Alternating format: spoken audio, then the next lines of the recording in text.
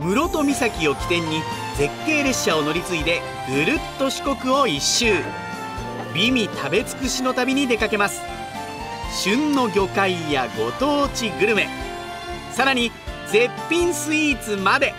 四国には美味しいものが目白押し。